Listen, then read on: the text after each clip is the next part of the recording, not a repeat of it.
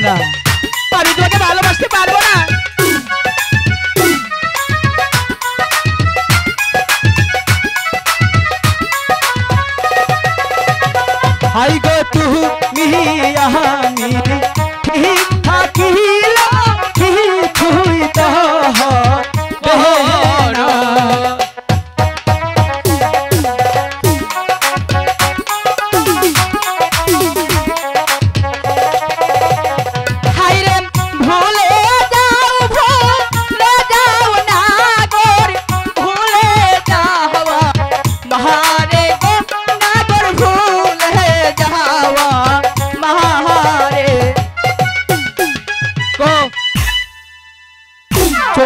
কোন সবই হারিয়ে ফেলেছি। লুকাই। বলো। চল।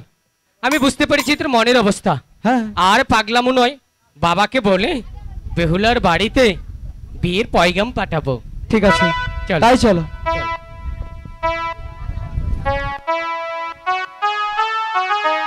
লোকাই অনেক বড় হয়ে গেছে। তাই তো বিয়ের উপযুক্ত হয়েছে। তাকে দেখে শুনে একটি বিয়ে দেওয়া দরকার। আমি এই মুহূর্তে যাব ঘটক মশের বাড়ি। যেমনি ভাবে হোক না কেন আমি ঘটক মশাইকে পাঠিয়ে দেবো। একটি বিয়ে পাওয়াতে হয়ে আমার একমাত্র সন্তান বংশের প্রদীপী লোক আর বিয়ের সম্বন্ধ করতে। ঘটক মশাই বাড়ি আছেন ঘটক মশাই সদাগর মশাই ঘটক মশাই নমস্কার। নমস্কার। কিসের জন্য ডাকছেন আমাকে? ঘটক মশাই বলেন। আমি আপনাকে স্মরণ করেছি কেন জানেন? না। আপনার কাছে কোনো সুপাত্রীর সন্ধান আছে? আছে। তাহলে কোথায় কত দূর? এবং কার কন্যা? বলাই না। হ্যাঁ? চলবো কি? বলাই। না ঘটক মশাই। আরও কোনো পাত্রী আছে কিনা? সদাগর মশাই। আচ্ছা বলুন। আছে। তাহলে কোথায়? এই কামাই না আছে না ঘটক মশাই! বলেন। দেখতে হবে কোথায় এক সদাগর আছে। পেয়েছি কোথায় পেয়েছি। কোথায়? কত দূর কার কন্যা তার পিতার নাম কি? ঈশানী ঘর। ইচ্ছানীনগর ঘর। সাইমন সদাগর। সাইমন সদাগর। তাহার ঘর আছে মা বেহুলা সুন্দর। বাহ! আপনি যেতে পারবেন? অবশ্যই যেতে পারব। এনে দিতে পারবেন? এনে দিতে পারব। করতে পারব বিয়ের সন্ধ্যা অবশ্যই। গড়ক মশাই বলেন। এই মুহূর্তে আপনার আমার আদেশ মাথায় নেই। ছুটে যাবেন সেই নিচ্ছানীনগর সেখানে আছে সেই মন সদাগর তার ঘরে আছে কন্যা বেহুলা সুন্দর। ভগবান আমার ঘরে দিয়েছে একমাত্র বংশের প্রদেব সোনা লক্ষিন্দর। এই দুজন করতে হবে বীর অন্যস্বরে পারবেন ঘটক মশাই অবশ্যই তাহলে এই মতে চলে যান। আমি আসছি ঘটক মশাই আচ্ছা।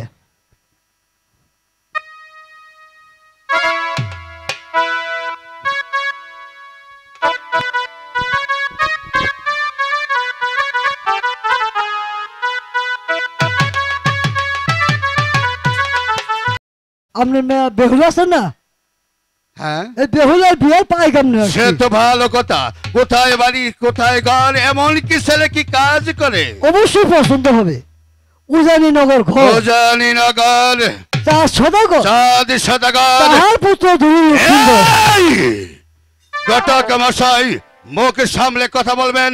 আপনি হয়তো জানেন, আমি একে একে ছয়টি কন্যা বিয়ে দিয়েছিলাম।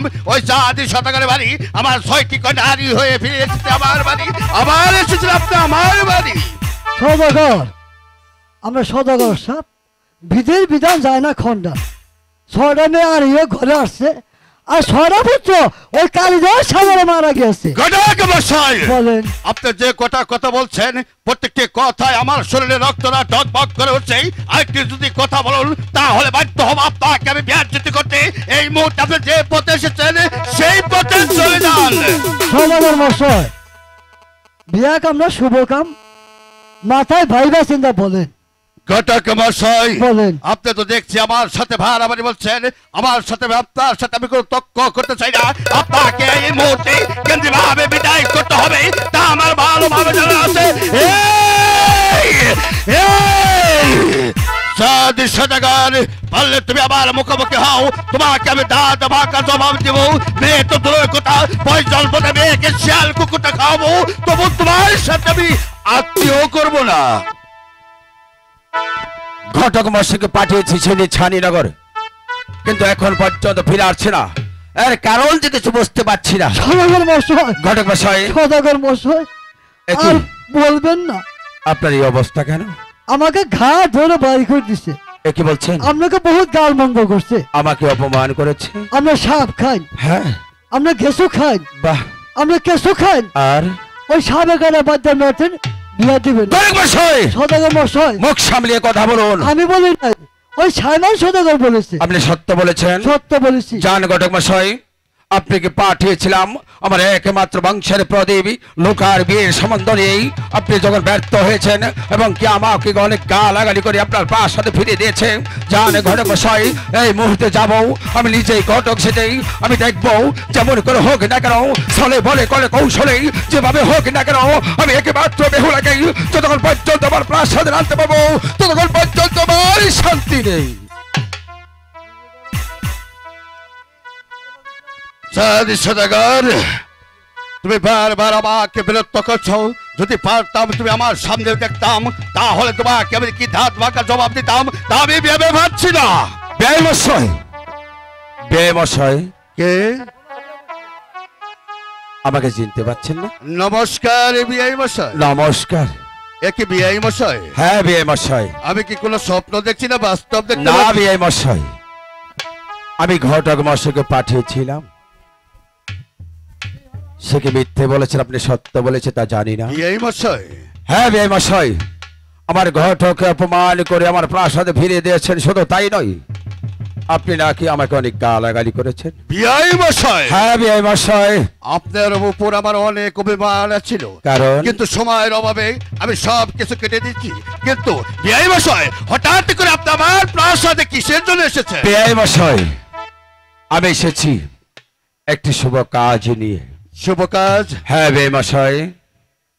আপনার ঘরে আছে একমাত্র কন্যা বেহুলা সতী। আচ্ছা। আর আমার শেষ পর্যন্ত ভগবান আমার ঘরে দিয়েছে একমাত্র বংশের প্রদীপ একমাত্র সোনার লোকাই। আমি এসেছি আপনার একমাত্র কন্যা বেহুলার সাথে আমার একমাত্র বংশের প্রদীপ। লোকার বিয়ের সম্বন্ধে। মশাই। হ্যাঁ মশাই। আপনি ঠিকই বলেছেন। আপনি আমার পুরানো তো বিআই। হ্যাঁ। আপনার বাড়ি একে একে ছয়টি কন্যা দিয়েছিলাম। হ্যাঁ। কিন্তু বিআই মশাই আচ্ছা বলো। আপনি কি জানেন? আমার যে বুক ভরা আবেগ আমার কলিজাটা ধদাও করে আগুন জ্বলে ওঠে বিআই মশাই। বে মশাই। ওগো বিআই মশাই। আচ্ছা বলো আমার মেয়েগঞ্জ যখন আমার চোখের সামনে হাঁটে ওদেরকে স্বামী ছাড়া তখন আমার মনে হয় দুনিয়ার উপর থাকার না থাকার আপনি কি ভেবে দেখেছেন? আপনার ছয়টি কন্যা আপনার সামনে এখনও আছে। আর ভগবান ভাগ্যের লিখন। আমার ছয়টি সন্তান, আমার ছয়টি কলিজাকে বাদ হয়ে, আমার কলিজাকে ছিদ্র করে ভগবান আমার কাছ থেকে চির বিদায় করে নিয়ে গেছে।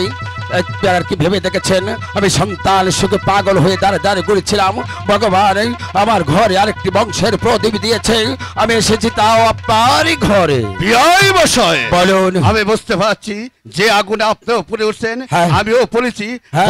এখন আপনি কি করতে চান? আমি জানতে চাই আপনার এক মাংস কন্যা আমার ঘরে দেবেন কিনা?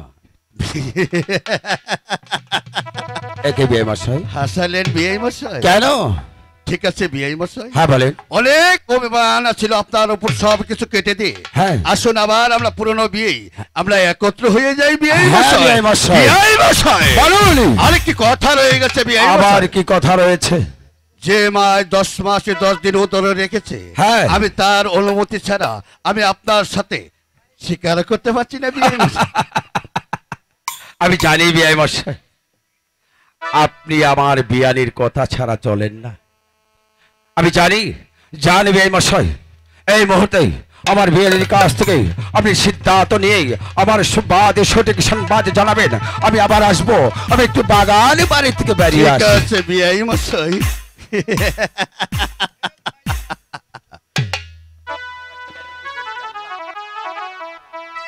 হৃদয়ে সখী চেতনায় দেশ বাংলার চোখ